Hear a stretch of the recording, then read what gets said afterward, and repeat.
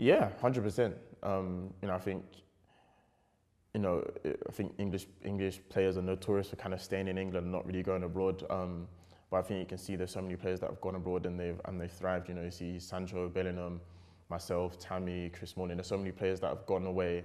Um, you know, really and really learned, you know, or seen a different side to football, seen a different way to play, a different culture, and you know, you can see that it's added to their game.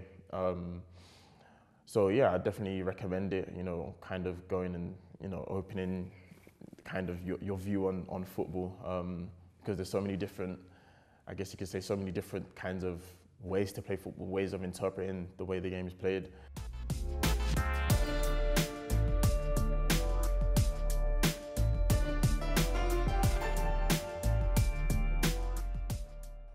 No, I don't think so. You know, I think the England national team over the last it eight years maybe you know they've they've reached the latter stages of the Euros the the World Cup you know so there's so many good players um, in every position and I think you know for for for the manager it's difficult to you know to pick you know when he's got to pick an 18 or he's got to pick a 25 or whatever it is you know he's got to pick out of you know such a large pool of players and I think you know for us you know we're all just trying to we're all fighting for the same thing we're trying to trying to get in the England team so for me personally, I just try and do my best, um, try and uh, you know do it as well as I can for Milan uh, in, in every competition, every game, because um, I know he's watching the games.